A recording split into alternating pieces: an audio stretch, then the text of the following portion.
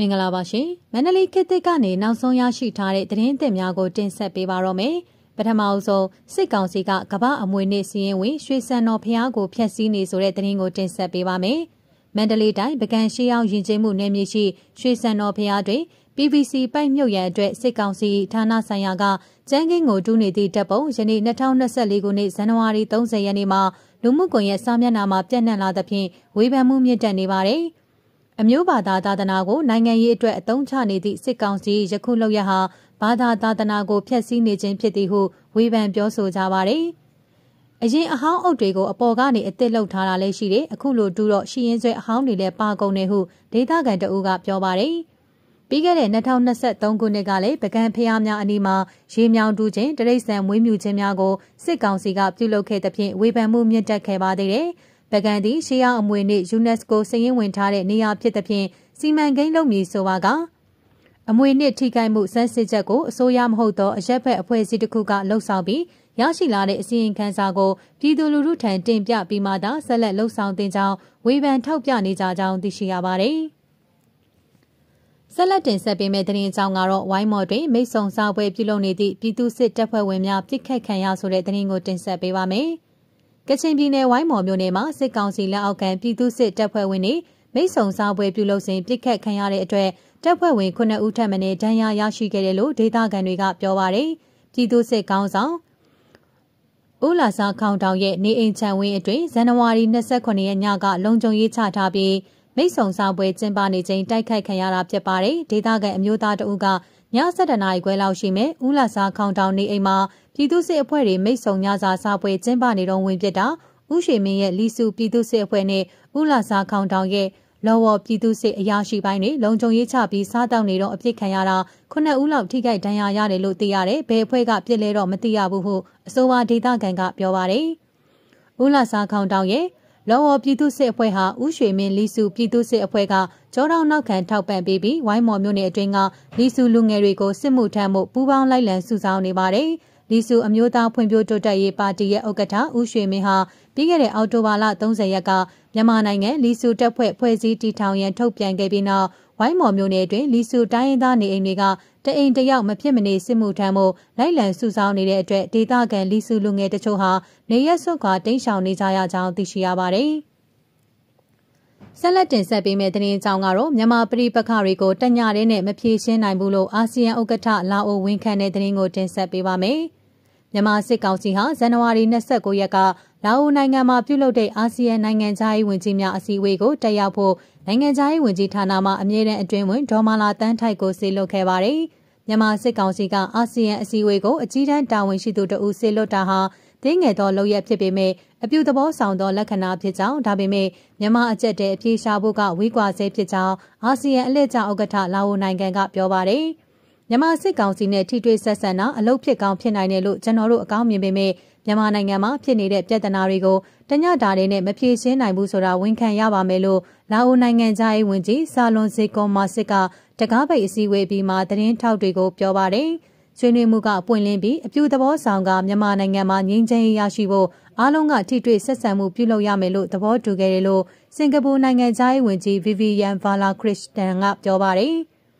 အာနာသိမ့်မှုနောက်ပိုင်းမြန်မာနိုင်ငံမှာလုံခြုံရေးအခြေအနေပြည်သူတွေရဲ့ဘေးကင်းမှုနဲ့စီးပွားရေးကပိုဆိုးလာခဲ့ပါတယ်လို့သူကဆိုပါတယ်။အရေးကြီးဆုံးအချက်ကျန်နေပါသေးတယ်။သူတို့အမျိုးသားပြန်လည်တည်မြဲရေးလိုအပ်ပါတယ်။သူတို့အချင်းချင်းစကားပြောဖို့လိုအပ်ပါတယ်။အာဆီယံကအိမ်နီးချင်းအနေနဲ့အခြေအနေကိုပိုဆိုးအောင်မဟုတ်ဘဲအပြုသဘောဆောင်အောင်ကူညီဖို့အသင့်ရှိနေပါတယ်လို့သူကဆက်ပြောပါတယ်။မြန်မာနိုင်ငံမှာစစ်ရေးတိုက်ပွဲတွေကြောင့်2023ခုနှစ်နှစ်ကုန်မှာပြည်သူ2.6တန်းကျော်အိုးအိမ်ဆုံးခွာခဲ့ရပါတယ်။ မြန်မာနိုင်ငံဆိုင်ရာအာဆီယံအထူးကိုယ်စားလှယ်လာအိုဝါရင်တန်တမဲအလွန်ကစ်တီယိုကစ်တီခွန်က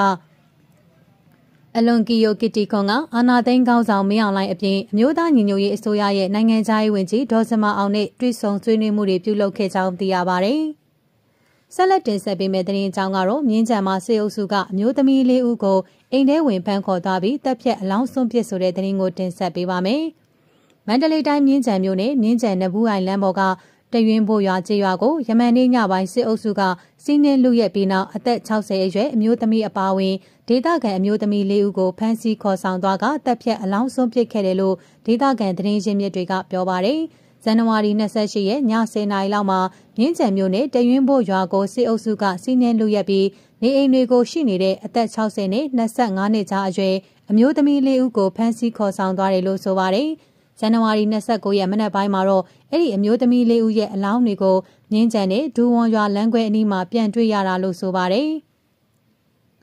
စေအုပ်စုကဖမ်းခေါ်သွားပြီးတပ်ဖြတ်ကအလောင်းတွေလမ်းဘေးစွန့်ပစ်ထားခဲ့တဲ့အမျိုးသမီးလေးဦးဟာတရွင်းဖို့ရွာသူတွေဖြစ်တဲ့ဒေါ်ညွတ်မေ60နှစ်ဒေါက်ခင်ဆွေဝင်း43နှစ်မက်ဇမာတင်28နှစ်နဲ့မက်အိမေချာ25နှစ်တို့ဖြစ်ကြောင်းနှိဆက်သူတွေကပြောပါတယ်။ စေအုပ်စုဟာတရွင်းဖို့ရွာကိုအကြောင်းမဲ့စီးနှင်းလူရဲ့ပြီးနောက်အမျိုးသမီးတွေကိုလက်နက်ပြအနိုင်ကျင့်ဖမ်းဆီးကတပ်ဖြတ်အလောင်းစွန့်ပစ်တာကိုအလောင်းစွန့်ပစ်တာလို့ရင်းချန်ခရိုင်ပြည်သူ့ကာကွယ်ရေးဖွဲ့ပကဖကပြောပါတယ်။တော်လန်ရေးဘက်ကအဆက်အသွယ်ရှိတယ်လို့ထင်မြင်ချက်နဲ့ယူဆပါတယ်ဟုမြင်းကြံခရိုင်ပကဖကိုကောင်းစင်ကပြောပါတယ်။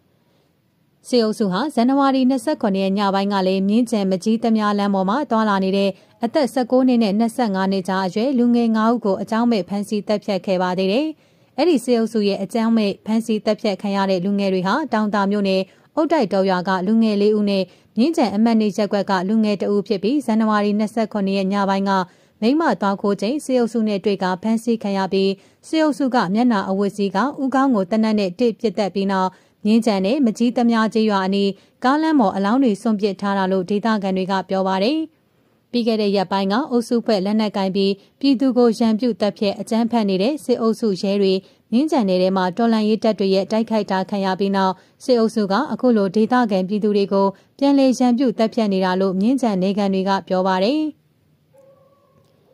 စစ်အာဏာသိမ်းပြီးနောက်မြင်းကြံနေတဲ့လူသက်လူရက်မိရှို့ဖျက်ဆီးငွေညစ်တာတွေကျူးလွန်နေတဲ့စစ်အုပ်စုရဲနယ်ပြူတွေတိုက်ခိုက်ခံရတိုင်းစစ်အုပ်စုကအနည်းဆုံးမှရှိတဲ့ပြည်သူတွေကိုပြန်လည်ရန်ပြုတပ်ဖြတ်ပြုလေးရှိတယ်လို့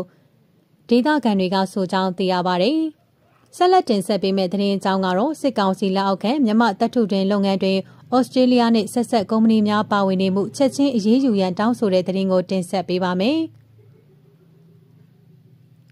မြန်မာနိုင်ငံရှိစစ်ကောင်စီလက်အောက်ခံမြန်မာတပ်ထုတင်လုပ်ငန်းမှာဩစတြေးလျနှင့်ဆက်ဆက်ကုမ္ပဏီများပါဝင်နေမှုချက်ချင်းအရေးယူရန်မြန်မာကမ်ပိန်းနက်ဝက်ကဩစတြေးလျအစိုးရကိုတောင်းဆိုလိုက်ပါတယ်။မြန်မာနိုင်ငံရဲ့တပ်ထုတင်လုပ်ငန်းမှာဩစတြေးလျနှင့်ဆက်ဆက်ကုမ္ပဏီများကပံ့ပိုးကူညီနေမှုဟာတပ်ထုတင်တူးဖော်ခြင်းလုပ်ငန်းကဏ္ဍမှာတစဉ်အကြမ်းဖက်ဆရာနာရှင်ကိုတိုက်ရိုက်ဖြစ်စေသွဲဝိုက်သောနှီးဖြင့်ဖြစ်စေပံ့ပိုးပေးနေခြင်းဖြစ်သည့်အတွက်မြန်မာနိုင်ငံတပ်ထုတင်လုပ်ငန်းကဏ္ဍအပေါ်ပိတ်ဆို့အရေးယူရန်တောင်းဆိုခြင်းဖြစ်ပါတယ်။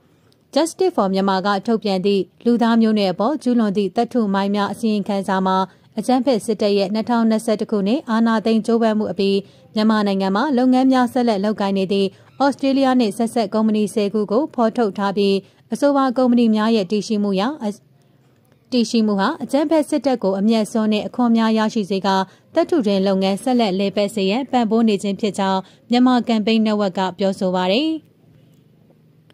စစ်ကောင်စီလက်အောက်ရှိလုပ်ငန်းများဆက်လက်လုပ်ကိုင်နေခြင်းဟာဩစတြေးလျအဖွဲ့အစည်းများအနေနဲ့စစ်တပ်ရဲ့အကြမ်းဖက်လှုပ်ရှားမှုမှာပါဝင်ကူညီရုံသားမကတာဝန်ရှိမှုရှိတဲ့စီးပွားရေးဆိုင်ရာတာဝန်ယူမှုရှိတဲ့စီးပွားရေးဆိုင်ရာနိုင်ငံတကာစံနှုန်းများကိုချိုးဖောက်ရာရောက်နေကြောင်းလည်းမြန်မာကမ်ပိန်းနက်ဝက်ကထောက်ပြပြောဆိုပါရယ်။ ထို့ပြင်တပ်ထုတူးဖော်ခြင်းလုပ်ငန်းအပြင်အကြမ်းဖက်စစ်တပ်ရဲ့နိုင်ငံခြားဝင်ငွေအရင်းမြစ်များကိုဖျက်တောက်ရန်ရင်းနှံတဲ့တဘာဝတံငွေတစ်ပလဲကြောက်မြက်ရတနာနဲ့ရင်းနှံဓာရုပစ္စည်းများအပါအဝင်တခြားသောဝင်ငွေကျဲဝတဲ့လုပ်ငန်းကဏ္ဍများကိုပိတ်ဆို့အရေးယူပေးရန်လည်းဆက်လက်တောင်းဆိုထားပါတယ်။ဩစတြေးလျနိုင်ငံမှာကုမ္ပဏီများကမြန်မာနိုင်ငံမှာလူခွင့်ရေးကြောင့်လုံလစိုက်ထုတ်မှုပြက်ကွက်နေပြီးဩစတြေးလျအစိုးရမှအရေးယူမှုမရှိတဲ့အထောက်အထားများတိုးပါလာနေပါတယ်။ မြန်မာနိုင်ငံမှာဆက်လက်ဖြစ်ပေါ်နေတဲ့ရက်ဆက်ကြမ်းကြုတ်မှုများကြောင့်တပ်ထုတွင်တူးဖော်ခြင်းလုပ်ငန်းကိုပံ့ပိုးကူညီဆောင်ရွက်ပေးခြင်းဖြင့်ဩစတြေးလျအစိုးရအားပိတ်ဆို့အရေးယူမှုများချမှတ်ရန်နဲ့ဩစတြေးလျစီးပွားရေးချိတ်ဆက်မှုများကိုပြန်လည်သုံးသပ်ရန်ကျွန်တော်တို့အလေးနက်ထားတိုက်တွန်းအပ်ပါသည်ဟုဆိုကြောင်းသိရှိရပါတယ်။